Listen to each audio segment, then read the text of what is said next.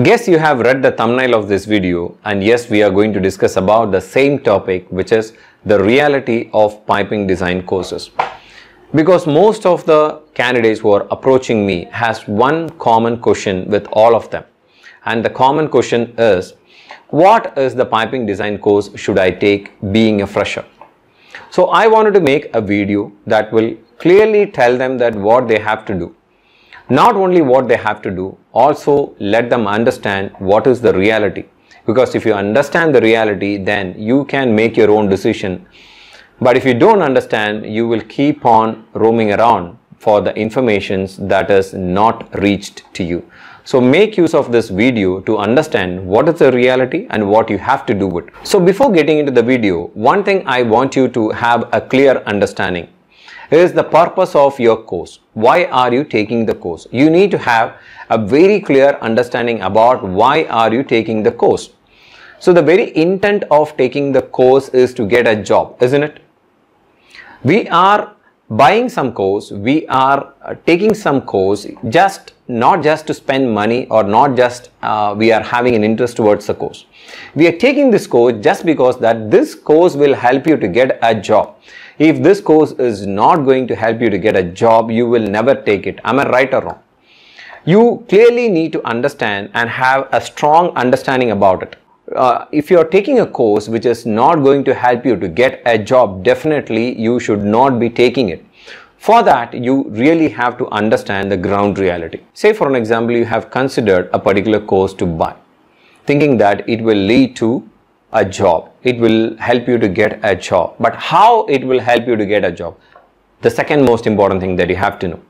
Because most of the candidates don't understand the relation between their job expectation and the course that they are going to take it. If you do not know what the job is actually demanding, then whatever course that you take is going to be waste. You have to know what the job is demanding. Only then you will be able to understand whether your course is supplying this or not. Let me tell you in a very simple example. Let's say that you are planning to buy a house.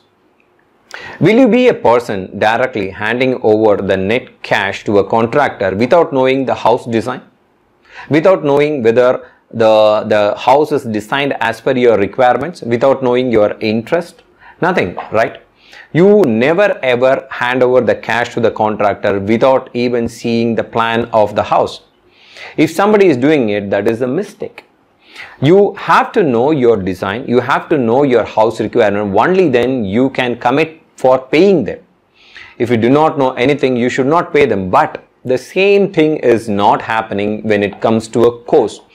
Most people are taking the course just by the the kind of a reputation that the institute is having and the kind of uh, the the reference that they used to get from their friends or just because their friends did that they are going to do it. This will not work friends. And my dear candidates please be awake. You really have to do a little bit of ground reality check before taking any course. This is going to be a more of a common sense that you have to understand the job requirements and do a course which can give that knowledge so that you can use that knowledge to get into a job. If you do a course which is not going to give a knowledge of the job, then it is no use of it. Please have a clear understanding about this first in your mind. And the next thing you have to understand is, being a fresher, you're going to get into a job market. So what is going to be your role in the job? Being a fresher, nobody would expect you to work as a senior engineer. Am I right or wrong? So you have to know the basic things, the, the things that can help you be a part of a team and be a part of a, uh, the group so that you can support them for the initial understanding. And with the support of the uh, the colleagues and the, your senior engineers or senior people you can deliver them. For that you need to have some basic understanding. Not that you need to know everything about it. So if you do not have an understanding about these three things what is the purpose of the course? What is the actual reality of the job market and what is the uh, your role being as a fresher then you will not be able to understand the entire chemistry fine so please have a strong understanding about it and drive accordingly. So this is the first part of this video. Now I'm going to the second part of the video where I'm going to talk about the courses. First of all, as a fresher, you are completely a new fresher who do not know about this entire industry, how it works and everything, right? So as a first step, you need to conceptually understand why you wanted to become a piping design engineer and what piping design engineer is going to do in the actual job.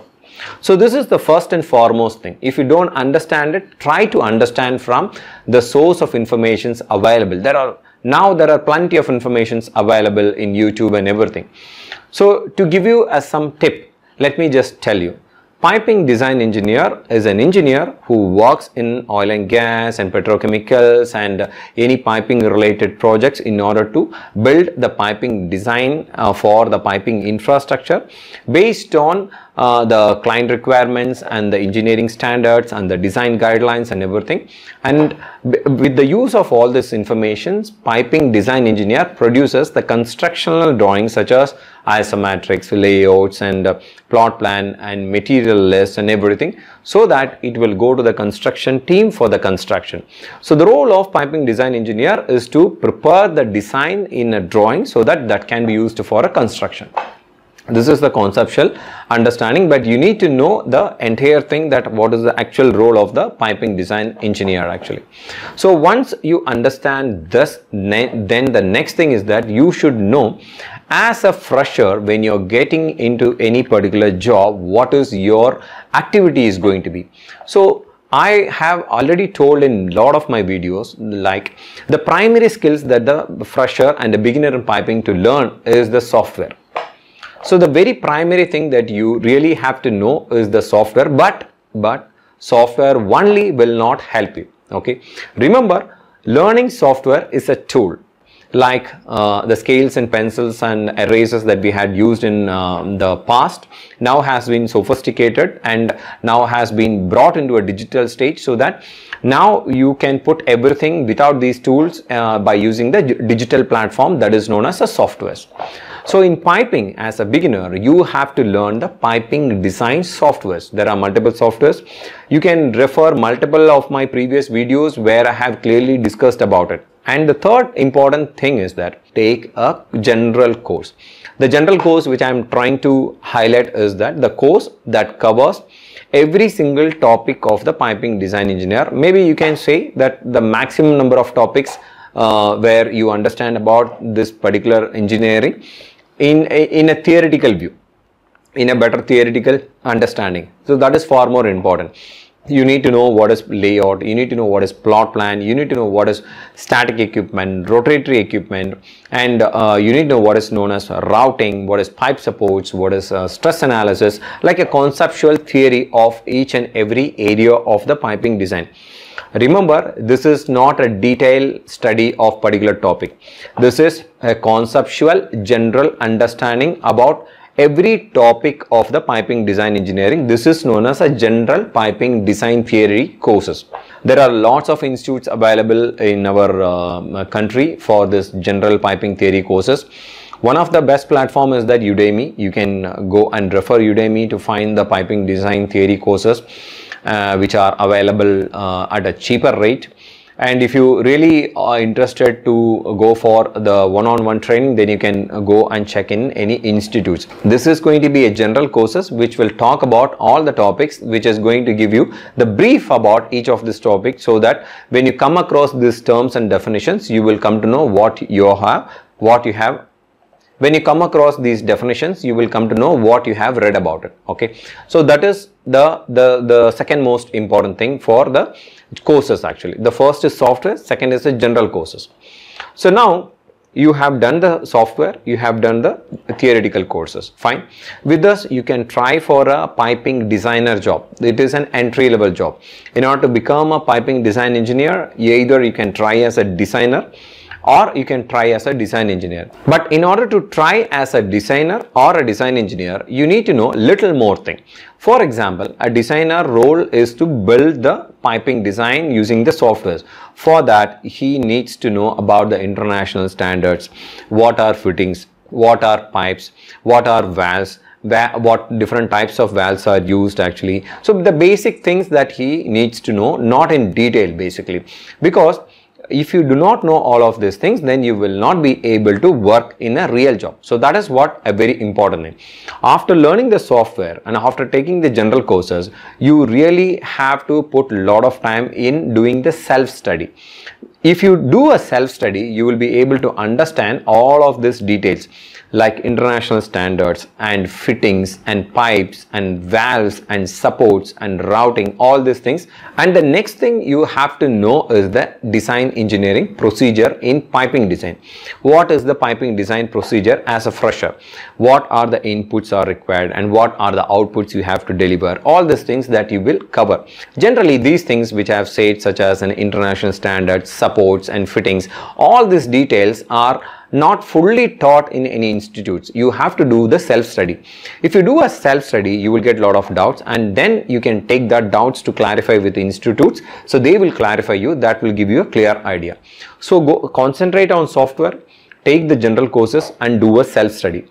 Make sure you do a self-study along with the general courses. So you can clarify your doubts in the self-study in the institutes itself. So that is the very most important.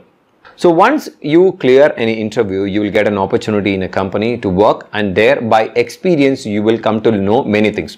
But I still understand even after working two to three years, you may not be able to learn many things. That is where you have to focus on the skill-based training. The skill-based training, like my skill-based training, which is in Pymedaca, you can check my course websites where I have some courses which are purely a skill-based training for those who really wanted to perform well in the interview, perform well in the actual job. One of the biggest problem with being a beginner is a lot of fear and lot of doubts and there is no clarification. Even I had gone through the same stage. That is why I can relate that the kind of a fear, the kind of a fear in the sense it's not a really a fear that can scare you. It's a completely uh, uh, uh, clarity less uh, the, the knowledge, what you're doing, which direction that you're going and whether if you do this, it will work. So all those doubts you will get it. That is basically because that we are not taught properly about the systematic education. That is what I, we are lacking. I seriously wonder why it was not taught. Even after completing engineering, even I was not confident. I was not knowing what I was doing only by progressing little by little little by little by making uh, a little bit improvement in career only I was able to understand it so I can understand that how a fresher can truly feel that is why I'm making this video to give them the clarity the clarity is that understand the job requirement and then do the course not the vice versa. Do not copy your friends, do not copy your neighbors, do not copy any recommendations in the internet. If you want to become something, for example, if you want to become a piping design engineer, you understand about what piping design engineer does. What is the job requirements? What are the skills he needs actually? Accordingly, you list down those skills and try for the courses where it will teach those skills. So that is very important. And progressively you follow it first you learn the software then you take the general courses then you focus on the self study and then you focus on the skill based study then you focus on the interviews then you focus on your um, your your body language and communications and you work on your cv all these things are related actually only then you will be able to get into a job because getting into a job is the foremost thing we need do not take any course that is not supporting you to get into a job. But it should not be a question that before taking a course, you should not go and ask the, the particular person that, will you give me a job? That is not the intent here. The intent is that what kind of knowledge that the course is going to give you, whether the knowledge is actually matching the job requirement whether you are unable to use the knowledge to get into a job that is a totally your personal uh, issues but if whatever you are learning is not related to whatever has been expected, then there is no use of taking the course. So most of the people are in confusion that I have taken a course but I am not able to perform the interview well. That is truly a personal issue because you have taken a course and you have not observed properly, not understood properly. That is because you are not prepared for it actually. You have copied, you have uh, referenced, you are influenced so that you are not in a position to understand what is the job reality. But if a person understand the job re reality and see whether these are the five requirements that I have to prepare for then if he search the course according to these five requirements then he will be able to relate these requirements. So whatever course that he learns he will make sure that he is learning in order to get a knowledge of this job requirement. So with that knowledge if he goes for an interview he will be able to clear the interview so I believe that this video has helped you to understand what is the piping course reality that you have to take it, what you have to do, what are the preparations that you have to really focus on, what are the information that you have to seek. So all these things have been clarified in this video. I will meet you in another fantastic video. Until then, bye from Subhash Chandra.